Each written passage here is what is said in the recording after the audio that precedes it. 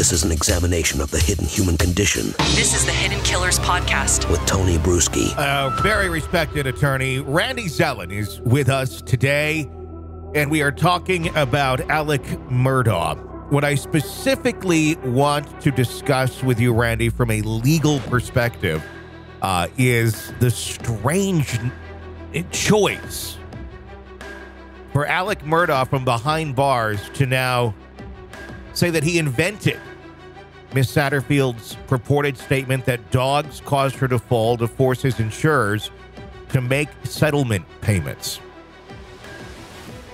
It's very bizarre. It almost seems evil, as if trying to punish the Satterfield family, uh, trying to make the insurance companies think, well, the money is over there. We should uh, recover that from that family. But that's not really what seems to be going on at all. Murdaugh, obviously, a convicted murderer, a serial liar.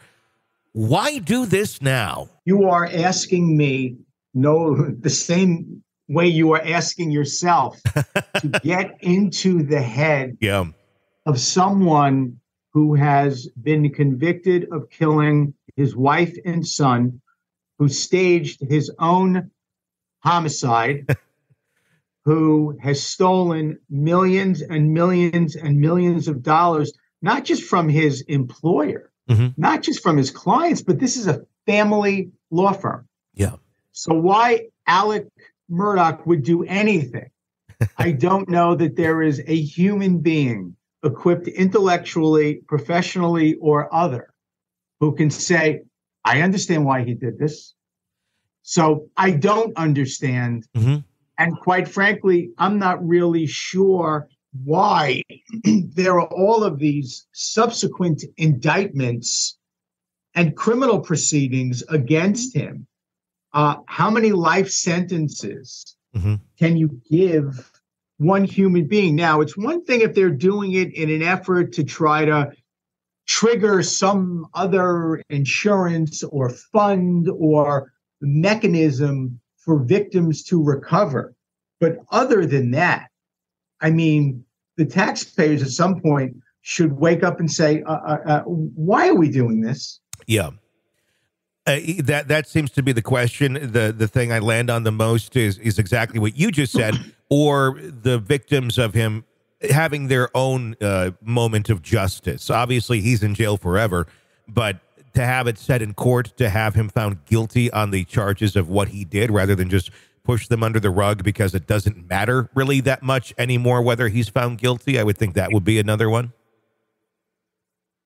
there's there's no doubt again for me it is one thing if there is some common sense and practical reason i'm not talking about a legal reason this mm-hmm. is this for me comes down to just because you can do something doesn't mean that you always should but for example there are instances where if a lawyer steals clients money various state bar organizations require that attorneys pay into a fund every year. And that fund is used to compensate victims of attorney thefts. So, if there was some legal reason why they needed to do something in order to trigger some relief for victims from this fund, Okay. if there was a reason why they needed to change something or tweak something or do something so there would be insurance coverage or let's say the insurance company dropped the ball Mhm. and now you need to do something to trigger a claim against an insurance company if there was some practical reason to continue to go after Alex Murdaugh then I'm all for it and maybe he's all for it Mhm. but short of that, just to say we've beaten him again, and maybe even just to say we've given some closure, some sense of justice to the victims, maybe I understand that as, as much as I possibly could, but just to do it because you can, Yeah. to me, just seems silly. The insurance company uh, Nautilus uh, asking now for the money back after that uh, revelation that was made. Uh, but they're not quite sure where they're going to get it. Murdaugh is saying, "Well, you know that uh, you know it was for the this family, but he never gave it to that family." Exactly. So yeah. listen, maybe this is some ingenious thing that is is above above my pay grade and above my intellectual comprehension where okay the insurance company is doing this to get the money back from the law firm now look to the law firm's insurance company to pay out and then the insurance company then can turn around and give the money that they recover from the law firm's insurance company to the family of Gloria Satterfield. Maybe that's what's going on. Mm-hmm. And I just have not practiced long enough, and I've been doing it for 35 years to, to have been able to see that from the get go. Yeah, I mean, it, it's very bizarre the way this is going. Eric Bland, uh, their, uh, the attorney for the Satterfields, uh, asking the judge, obviously, not only to deny the request uh, to uh, dismiss the confession of judgment, but also ask that the court uh, send a strong message to Murdaugh and his attorneys to stop victimizing his uh, vi- the victims, his clients, and weaponizing the legal system against them to try and extract this sort of money. Uh, even going as far as saying that the attorneys should be sanctioned. is is this uh, tell me about that, that process of being sanctioned. What exactly does that mean? And uh, do the attorneys of Murdaugh need to have something like that come to them, uh, with it uh, appearing that they're almost harassing victims at this point? Well, when you talk about sanctions, yeah, sanctions is a tool used by the court to punish an attorney.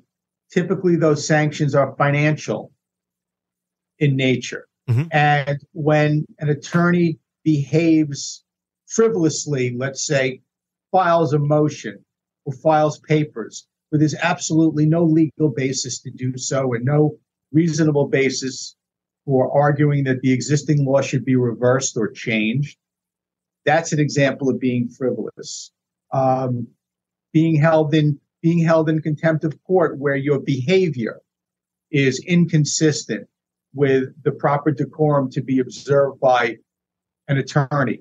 That could render you subject to sanctions. If you continue to ignore an order of a court, that could be something that would subject you to sanctions in addition to being found in contempt of court.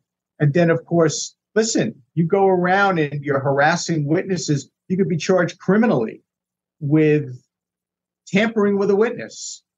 Mm-hmm. So I will say that far more often than not, the threat of sanctions, unless it's coming from the court, is typically taken with a grain of salt when it's coming from another lawyer, threatening a lawyer with sanctions. Mm-hmm. So it's not as it, it, it's made to be dramatic when uh, when the Eric Bland is saying that. It, it's just yeah, a listen, very different. Lawyers way. say it against other lawyers all the time. Sure. It's a soundbite. Okay. When a judge says it, yeah. Now you stand up and square your shoulders and take mm-hmm. notice. Okay. Okay. That makes sense. Uh, why do you think, uh, and this is, I just want your opinion here, why do his attorneys still stick with him? Why are they still his attorneys at this point? Why haven't they walked away uh, from the madness that is Alex Murdaugh? Is there in any way, shape, or form that this is a good professional move for them to, to stick with him? Well, I think we can answer it in a few ways. Number one, there's the old saying that even bad press is better than no press at all. Mm-hmm. Uh, second of all, it does give them the opportunity to try to get Murdaugh's story out there, their story out there in terms of trying to right any wrongs. Also, keep in mind that to the extent that there are active court proceedings going on, the only person who can let an attorney out of a case is the judge. Okay. You can't just walk away when you filed a notice of appearance, notice of appearance in a court, you can't just simply say, I quit. It's for a judge to let you out. And maybe they're concerned that the judge won't let them out. Um, there could be, again, a whole host of reasons. This, this case checks off so many boxes of just the bizarre and the pushing of the envelope of our entire system of justice and, and what goes on that it's actually, I think, life what is it? Um, it's life imitating art or art imitating life. In other words, what's actually going on is, is more astounding and more unbelievable than what someone could script yeah. for a movie or a, a Netflix series. This is an examination of the hidden human condition. This is the Hidden Killers Podcast. The Podcast Hidden Killers Podcast. with Tony Brueski. Always uh, a trip, I guess you could say, as we try to examine the inner workings of Alex Murdaugh's mind. You got to wonder sometimes if he even really knows how it's working or why. If you like the podcast, be sure to press subscribe wherever you download podcasts so you don't miss any breaking episodes or discussions of our cases. You can get an ad-free experience through Apple Podcasts right now. Go ahead and check that out on Apple Podcasts. Even try it for three days free. When you become a premium subscriber, you get access to all of our podcasts in their entirety, ad-free, the whole True Crime Today family. Check that out on Apple Podcasts. I'm Tony Brueski. Stay with us.